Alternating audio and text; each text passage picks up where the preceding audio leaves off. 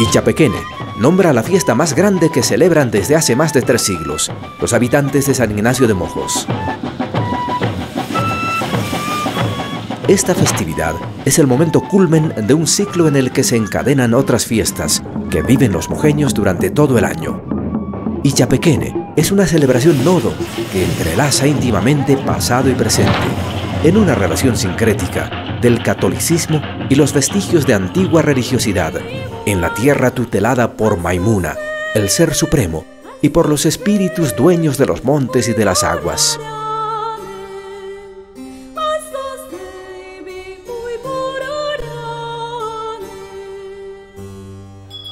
Esta mezcla de culturas y religiones ha abierto un resquicio en la expresión barroca que prevalece en San Ignacio de Mojos, una de las tres primeras misiones fundadas por los jesuitas a fines del siglo XVII.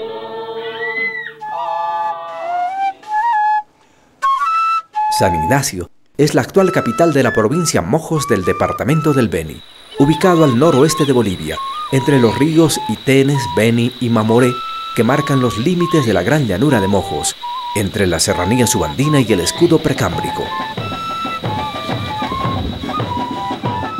El valor excepcional de Ichapequene, lo que le da sentido y hace que esta fiesta sea única en Bolivia, es el mito que se construye a través de dos personajes principales el machetero, portador del plumaje sagrado que lleva los rayos del sol, conservado como herencia ancestral. Y el achu, antepasado, que simboliza la conexión entre el mundo físico y el místico.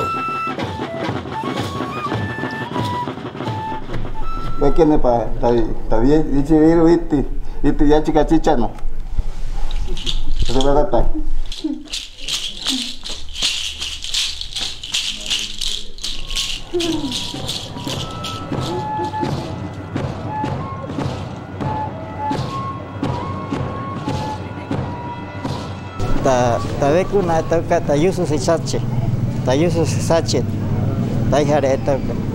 Nasi pete ma Jesucristo ma santo chapa santo tasia eta maira yukupiana eta llama por eso está sagrado eta plumaje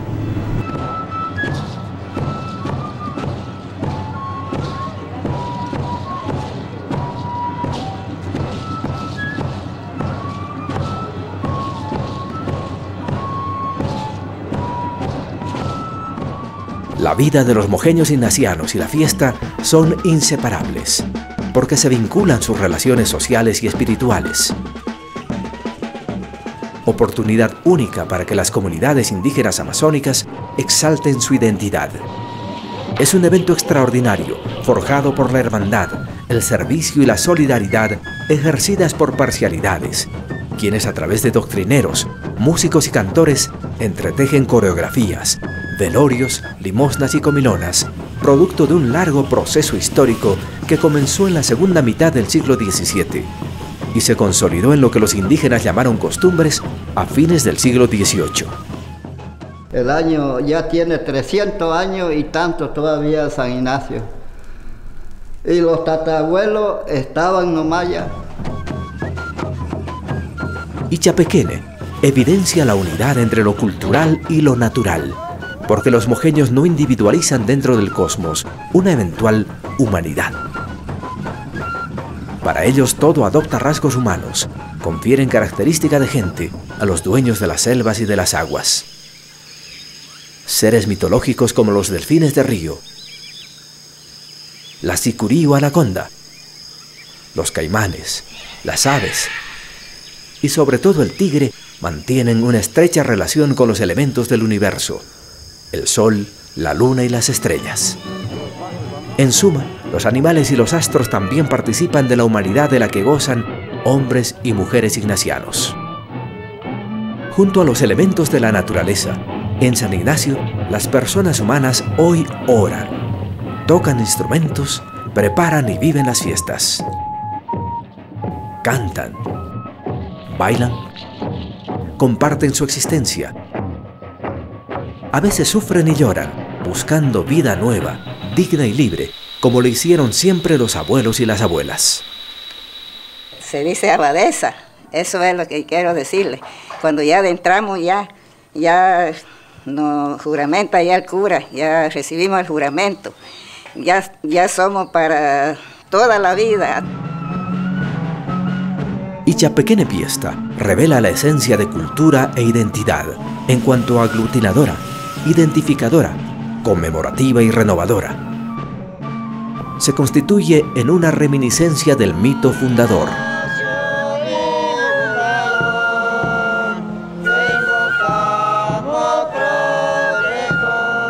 En la fiesta ignaciana se acercan el mundo histórico y el mundo mítico, los sueños y la realidad.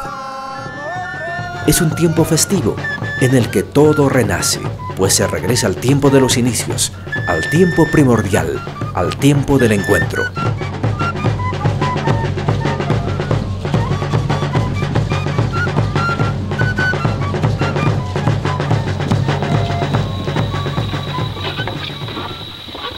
Mojos es fruto de ese vivir antiguo y nuevo misioneros, hecho síntesis vital, Esa síntesis espiritual, lingüística, económica y política hoy se denomina San Ignacio de Mojos, capital folclórica del Beni y centro espiritual de los pueblos misionales del Cono Sur.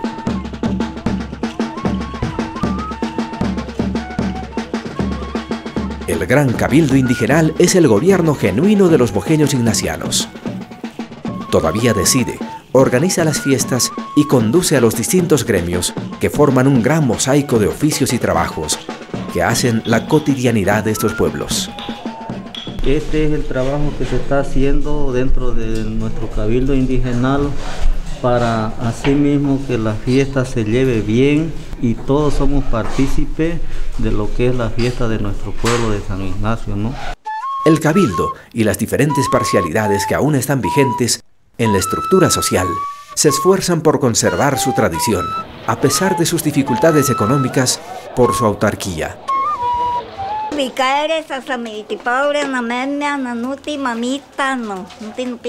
iglesia. fiesta, Santo Ignacio.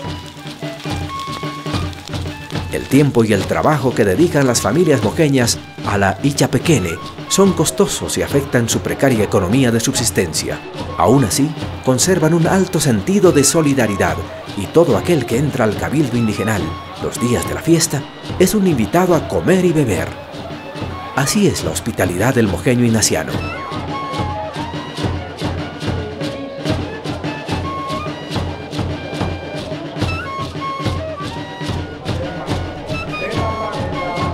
La estructura fundamental para la salvaguarda y conservación patrimonial, de acuerdo a sus usos y costumbres, debe ser el gran cabildo indigenal, que tiene autonomía, control de administración y distribución de beneficios y obligaciones, de acuerdo a sus valores culturales.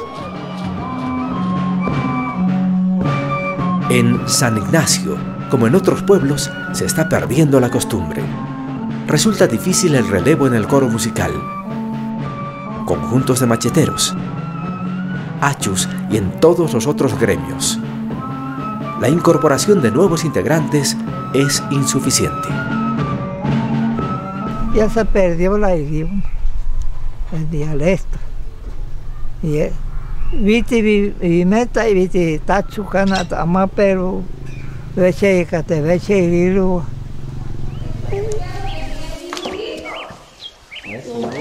El rescate del idioma es una demanda creciente para reafirmar la cultura. En algunas escuelas de San Ignacio de Mojos se enseña el dialecto. El idioma se está perdiendo debido a que la gente nueva, como se llama a los jóvenes en San Ignacio, ya no hablan mojeño, evaden formar parte del cabildo indigenal porque consideran que los valores de sacrificio y entrega son antiguos e irrelevantes.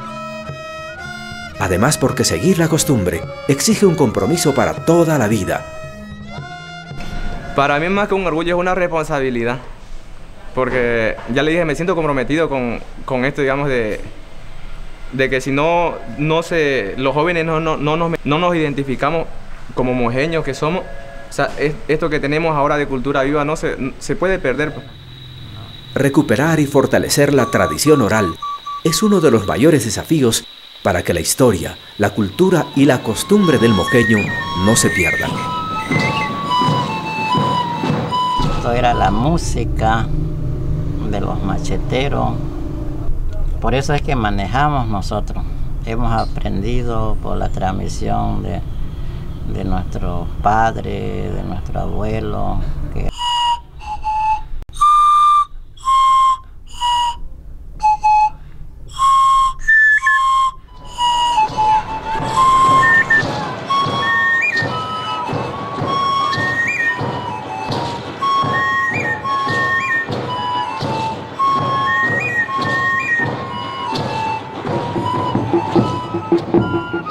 tiempos actuales, la espléndida Ichapequene Piesta corre el riesgo de desvirtuarse por la influencia e imposición y la agresiva irrupción de otras costumbres, como la proliferación de reinas de belleza, que no son parte de la costumbre del moqueño ignaciano.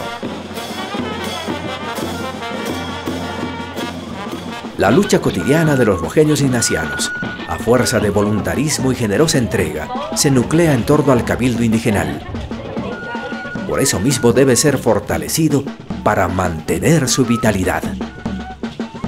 El carácter normativo de la tradición en la Ichapequene Piesta es la fuerza que hace existir a la comunidad indígena mojeña a través del tiempo.